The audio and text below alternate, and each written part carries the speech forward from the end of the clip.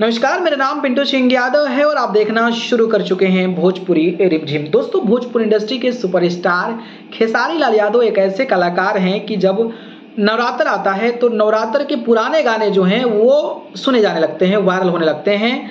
जब चैता आता है तो चैता के नए गाने तो चलते हैं, पुराने गाने जब आते हैं तो वो भी सुर्खियों में बन जाते हैं। इसके अलावा होली गाने जब आते हैं तो पुराने होली गाने जो हैं वो बजने लगते हैं और अब जो है खेसारी लाल यादव ने छठ में भी बाजी मार लिया है।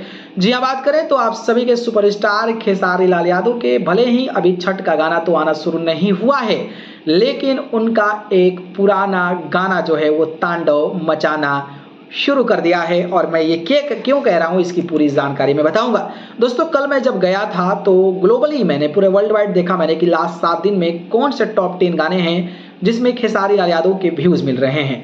तो उसमें से जब मैं जा रहा था तो सात, नौवें नंबर पर, नौवें नंबर पर एक गाना आया जो वाकई चौंकाने वाला था। और वो गाना खेसारी लाल यादव के छठ गाना था। जी हाँ बात करें तो एक गाना था, घूटी भर मर धोती भीजे। ये गाना जो है, वो नौवें नंबर पर टॉप म्यूज़िक वीडियोस में बना हुआ है, यानी कि यूट्यूब म्यूज़िक चार्ट्स में। और इंटरेस्टिंग बात यह है कि लास्ट सात दिन में इस गाने पर 2.3 मिलियन व्यूज़ जो हैं, वो मिले हुए हैं और टॉप 10 में टॉप म्यूज़िक वीडियोस में ये गाना जो है, वो बना पड़ा है। वहीं बात करें तो घुटी भर मर धोती भी जो गाना है, वो खेसारी लाल यादव और शिल्पी राज की आवाज़ में गाया गया था और इस गाने में चांदनी सिंह नज़र आई थी। अखिलेश कश्यप ने इस गाने को लिखा था और रवि राजदेवा इस गाने के म्यूज़िक कंपोजर थे।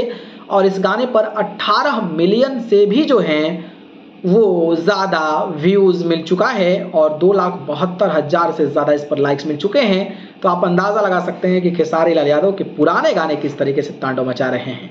बाकी अपनी राय इस पर बताइएगा। ठीक है, धन्यवाद।